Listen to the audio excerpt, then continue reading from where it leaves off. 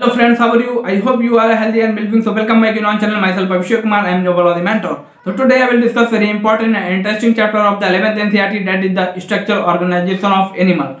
So in this particular video, we discuss which type of animal tissue participate in the forming of animal structure, what is their location and what is their function. So each and everything we discuss in conceptual manners and interesting manner. So I hope you really enjoy this video. So if you like my video, so please subscribe my channel and like share my video with friends. And if you want to join my social media handle, so I provided link in description box and section of my channel. So please go through section of my channel and click the social media icon and join with us. So I hope you really appreciate with me. So watch the video and keep support. Start today's topic. So today's topic is structure organization in animal. So it means how to animal structure form, which type of animal tissue participate in the following of animal structure. Each and everything we discuss in this video. So I hope you really enjoy this video.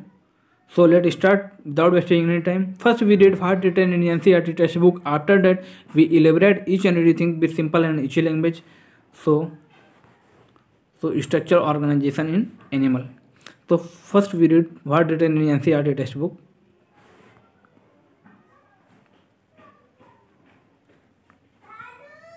so in preceding chapter preceding chapter का मतलब होता है अपना previous chapter कि हमने अपने previous chapter में क्या पढ़ा था।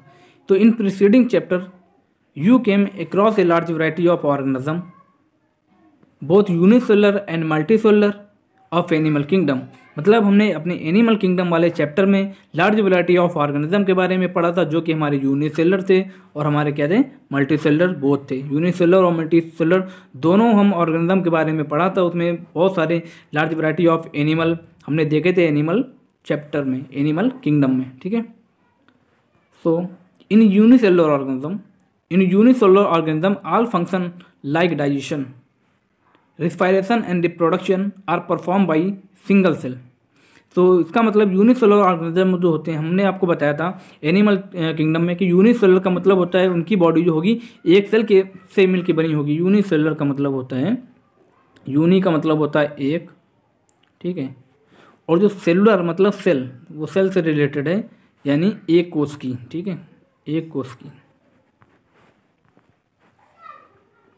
जो हमारे होते हैं यूनिट सेलुलर को हम एक कोष की जीव बोलते हैं, उनकी जो बॉडी होती है, सिर्फ़ सिंगल सेल से ही मिलकर बनी होती है।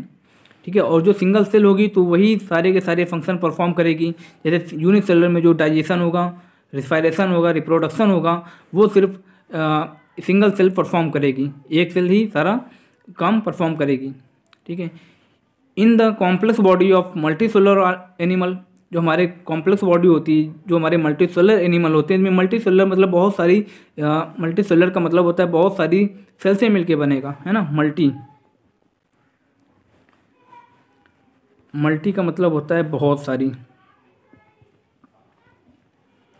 बहुत सारी, ठीक है? यानी बहुत सारी वो हमारी सेल से मिलके बनेगा मल्टी सेलर ऑर्गेनिज्म की बॉडी तो in complex body of multicellular animal the same basic function are carried out by different group of cell as well as organized manner. तो इसका मतलब ये है कि हमारे जो मल्टी सेलुलर एनिमल होते हैं, उनमें जो बेसिक फ़ंक्शन होते हैं, है ना? उनमें जो बेसिक फ़ंक्शन होते हैं, जैसे हमारा यूनिट सेलुलर में था बेसिक फ़ंक्शन डाइजेशन रिस्पायरेशन और रिप्रोडक्शन तो वो हमारा मल्टी सेलुलर ऑर्गन एनिमल में वो जो होगा, वो डिफरेंट डिफरेंट सेल के द्वारा होगा या फिर सेल के ग्रुप के द्वारा होगा। है ना, वो और वो जो सेल होंगी, एक ऑर्गेनाइज मैनर में होगी। एक उनका ऑर्गेनाइजेशन होगा और उनका एक ऑर्गेनाइज मैनर में वो अपना फ़ंक्शन परफॉर्म करेंगी।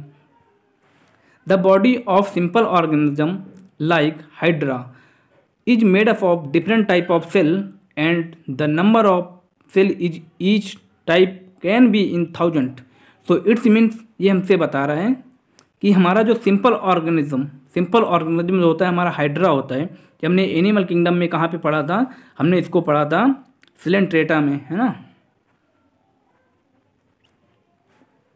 सिलेंट्रेटा में हमने इसको पढ़ा था। सिलेंट्रेटा को हम निडेरिया बोल रहे थे। निडेरिया ठीक है? सिलेंट्रेटा को हम निडेरिया बोल रहे थे। वहाँ पे जो हमारे एनिमल का ऑर्गेनाइजेशन था, वहाँ पे हमारे जो एनिमल का ऑर्गेनाइजेशन था, वो उसमें क्या था? सिलेंट्रेटा में हमारा जो था टिश्यू लेवल ऑफ़ ऑर्गेनाइजेशन था। Tissue level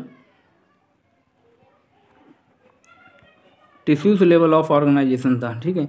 यानी टिश्यूज लेवल यानी हमारी सेल मिलके, हमारी सेल मिलके हमारी टिश्यू बनाती हैं और हमारे टिश्यू मिलके हमारे ऑर्गन बनाते हैं और बहुत सारे ऑर्गन मिलके हमारे ऑर्गन सिस्टम बनाते हैं और ऑर्गन सिस्टम से हमारी क्या बनती है? बॉडी बनती है। बॉडी यानी इंडिविजुअल बॉडी बनती है है ना? किसी भी एनिमल की बॉडी बनेगी। ठीक है, जो हमारा हाइड्रा है, उसमें हमारा क्या है? जो सेल हमारी ऑर्गेनाइज हैं डिफरेंट डिफरेंट टाइप ऑफ़ की सेल होती हैं, जो कि हमारे नंबर ऑफ़, एक सेल का नंबर थाउज़ेंड हो सकता है, और वो जो हमारे होती हैं, डिफरेंट टाइप की सेल से मिलकर बनी जाती है सेल हमारे मिलके टिश्यू बनाते हैं। इसका मतलब ये है कि हमारा जो हाइड्रा में होता है, टिश्यू लेवल ऑफ़ ऑर्गेनाइजेशन होता है। ठीक है? The human body is compose of billion of cell. जो हमारी ह्यूमन बॉडी होती है, वो बिलियन ऑफ़ सेल की, से मिलके बनी होती है, यानी अरबों सेल से मिलके बनी होती है। है ना? बिलियन ऑफ़ सेल यानी अरबों सेल से मिलके बनी होती है। और जो कि वेरियस फ़ंक्शन वेरियस का मतलब जहाँ पे हमारा वेरियस वर्ड आ जाए तो वहाँ मतलब होता है डिफरेंट डिफरेंट फ़ंक्शन ठीक है? वेरियस का मतलब होता है डिफरेंट डिफरेंट फ़ंक्शन यानी हमारी जो ह्यूमन की बॉडी है, वो हमारी बिलियन ऑफ़ सेल्स से मिलके बनी है, जो कि हमारी सेल्स जो हैं वो वेरियस यानी डिफरेंट डिफरेंट फ़ंक्शन परफॉर्म करती हैं, ठीक है? How do these cell is how do these cell in the body work together तो हम ये, एक क्वेश्चन आता है ना हमारे माइंड में कि ये सारी की सारी जो सेल हैं बिलियन ऑफ़ सेल हैं, ये हमारा फ़ंक्शन सॉरी फ़ंक्शन कैसे परफॉर्म करती हैं एक साथ, है ना? तो उसके लिए हम आगे देखते हैं। In multicellular animal a group of similar cell along with intercellular substance perform a specific function such an organisation is called tissue तो हमने आपको बताया कि हमारा टिशू क्या, कैसे बनता है। टिश्यू हमारा जो बनता है, हमारा वो सेल से बनता है।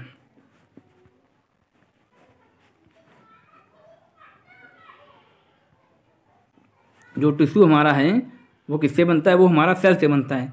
जब हमारी सेल ऑर्गेनाइज होकर हमारी टिश्यू बनाती हैं, है ना? सेल हमारी सेल से हमारा टिश्यू बनता है। सेल से हमारा टिश्यू बना टिश्यू से हमारा ऑर्गन बना, है ना? और जो हमारे डिफरेंट डिफरेंट ऑर्गन मिलके हमारे क्या बनाते हैं? ऑर्गन सिस्टम बनाते हैं। ऑर्गन सिस्टम बनाते हैं। और जो हमारे ऑर्गन सिस्टम मिलके जब हमारे ऑर्गन सिस्टम मिल जाएँगे तो हमारा क्या बन जाएगा? इंडिविजुअल इंडिविजुअल इंडिविजुअल बॉडी बन जाएगी, है ना? इंडिविजुअल एक एनिमल की बॉडी बन जाएगी। तो ये हमको बताया गया, इन मल्टी सेलुलर एनिमल में जो होता है ग्रुप ऑफ़ सिमिलर सेल यानी हमारे जो सिमिलर सेल का ग्रुप होता है अलॉन्ग विथ इंटरसेलुलर सबस्टेंस और इंटरसेलुलर सबस्टेंस के साथ मिलकर specific function specific function perform करता है such as organisation is called tissue level of organisation ठीक है, हमने एनिमल किंगडम में आपको अच्छे से बताया था what tissue level of organisation what is cellular level organisation जो सेलर लेवल ऑफ़ ऑर्गेनाइजेशन था, वो हमारे इस, उसमें स्पंजेस में पाया जा रहा था, यानी फोरीफेरा बॉडी मेंबर्स में पाया जा रहा था। ठीक है? You may be surprise you may be surprise to know that all complex animal consist of only basic type of tissue है ना? आप ये जान के हैरान हो जाएँगे कि जितने भी कॉम्प्लेक्स एनिमल्स होते हैं, जितने भी कॉम्प्लेक्स एनिमल होते हैं, उनकी, वो जो होते हैं, वो फोर टाइप ऑफ़ टिश्यू से मिलके बने होते हैं, है ना? ओनली चार टाइप ऑफ़ टिश्यू मिलके बने होते हैं। These tissue are organise in specific proportion and pattern to form in organ like stomach lungs heart and kidney so ये हमारे जो टिश्यू से मिलके बनती है, हमारे कॉम्प्लेक्स एनिमल जो हमारे टिश्यू से, चार टाइप ऑफ़ टिश्यू से मिलके बनते हैं तो उनका जो एक स्पेसिफिक ऑर्गेनाइजेशन होता है मतलब एक स्पेसिफिक ऑर्गेनाइज होगा ऑर्गेनाइजेशन होगा, और उनका जो प्रपोर्शन होगा मतलब वो स्पेसिफिक ऑर्गेनाइजेशन होगा, और उनका एक निश्चित अनुपात होता है है ना? प्रपोर्शन का मतलब होता है अनुपात, और उनका एक पैटर्न होता है, जो पैटर्न हमारे बनाते हैं, जैसे मैंने आपको बताया, जो हमारा सेल से सेल से हमारा टिश्यू बना टिश्यू से हमारा ऑर्गन बना ऑर्गन से ऑर्गन सिस्टम बना, और ऑर्गन सिस्टम से इंडिविजुअल इंडिविजुअल बॉडी बनी, ठीक है? तो यही इसमें बता रहे हैं कि हमारा, आप जान के हैरान हो जाएँगे कि कॉम्प्लेक्स एनिमल जो होते हैं, उसमें सिर्फ़ चार टाइप ऑफ़ टिश्यू से मिलके बनते हैं, these tissue organise in specific proportion ये हमारे जो टिश्यू होते हैं, एक निश्चित अनुपात में होते हैं और pattern to form the organ organ बनाते हैं हमारे। ऑर्गन कौन कौन से ऑर्गन हो गए? हमारा जो स्टमच हो गया लंग्स हो गया हार्ट हो गया एंड किडनी हो गया, ये हमारे सारे ऑर्गन हैं। अब यही हमारे जब सारे के सारे मिलके एक कॉमन फ़ंक्शन मतलब डिफरेंट डिफरेंट फ़ंक्शन बनाएँगे और ये हमारे मिल के काम करेंगे तो हमारा बन जाएगा ऑर्गन सिस्टम है ना? यानी सारे के सारे ये जो हमारे स्टोमच हो गया लंग्स हो गया हार्ट हो गया किडनी हो गया ये सारे सारे एक ऑर्गेनाइज मैनर में काम करेंगे तो हमारा ऑर्गन सिस्टम बनाएँगे और ऑर्गन सिस्टम होगा तो उसके बाद हमारी इंडिविजुअल बॉडी बन जाएगी, ठीक है? When two or more organ perform a common function by their physical and chemical interaction they together form organ system. जैसे डाइजेस्टिव सिस्टम, रेस्पायरेटरी सिस्टम यहाँ पे हमको दो एग्जांपल दिए गए हैं, डाइजेस्टिव सिस्टम, रेस्पायरेटरी सिस्टम। हम, हमारी बॉडी में बहुत सारे सिस्टम होते हैं, डाइजेस्टिव सिस्टम हो गया, रेस्पायरेटरी सिस्टम हो गया, रिप्रोडक्टिव सिस्टम हो गया स्क्रेटिव सिस्टम हो गया, बहुत सारे सिस्टम हैं, वहाँ पर हम इसको लिख सकते हैं, ठीक है? सो इसने क्या बताया कि जब हमारे टिश्यू, यानी जब हमारे ऑर्गन मिलके हमारे, क्या बनाते हैं, ऑर्गन सिस्टम बनाते हैं, ठीक है? ऑर्गन मिलके हमारे ऑर्गन सिस्टम बनाते हैं। तो when two or more organ perform common function जब हमारे एक या एक से ज़्यादा ऑर्गन मिलके कॉमन फ़ंक्शन परफॉर्म करेंगे, उनका जो फ़िज़िकल और केमिकल इंट्रैक्शन होगा, है ना? उनके फ़िज़िकल और केमिकल इंट्रैक्शन से वो कॉमन फ़ंक्शन परफॉर्म करेंगे। दे टुगेदर फॉर्म बनाते हैं, यानी इसका मतलब वो हमारे जब कॉमन फ़ंक्शन परफॉर्म करेंगे तो हमारे वो ऑर्गन सिस्टम बनाएँगे। यानी हमारे ऑर्गन मिलके क्या बनाएँगे? हमारे ऑर्गन सिस्टम बनाएँगे। मैंने आपको पहले बताया, कई बार बताया, ठीक है? जो हमारे ऑर्गन सिस्टम में आते हैं डाइजेस्टिव सिस्टम रिप्रोडक्टिव सिस्टम और रिस्पायरेटरी सिस्टम बहुत सारे सिस्टम हैं, हम उनको कंसल्ट कर सकते हैं।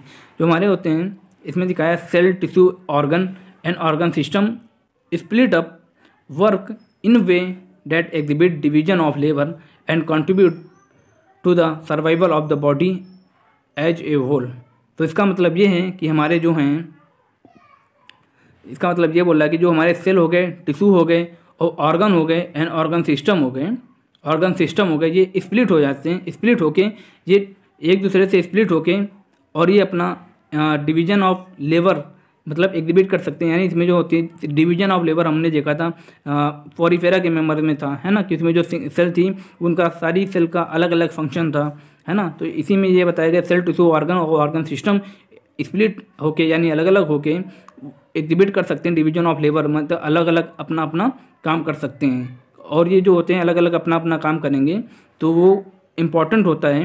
किसके लिए इम्पोर्टेंट होता है? Contribute to survival of the body as whole है ना? यानी वो बॉडी की सर्वाइवल के लिए इंपॉर्टेंट होता है। यानी सेल टिश्यू ऑर्गन और ऑर्गन सिस्टम अपना स्प्लिट होकर अलग अलग फ़ंक्शन परफॉर्म करेंगे। जिनमें कि डिवीज़न ऑफ़ लेबर होगी, यानी डिवीज़न ऑफ़ लेबर का मतलब होता है सभी को काम करने की छूट। मतलब सभी को काम करने की छूट। यानी वो सभी ऑर्गन अपना अपना अलग अलग काम करेंगे। इसका मतलब होता है डिवीज़न ऑफ़ लेबर है ना? और ये जो होता है सर्वाइबिलिटी के लिए इंपॉर्टेंट होता है है ना? तो फ़िलहाल इस वीडियो में इतना ही। मिलते हैं एक नेक्स्ट वीडियो में और इंटरेस्टिंग वीडियो के साथ में। So I hope you really enjoy this video तो take care bye bye you have a nice day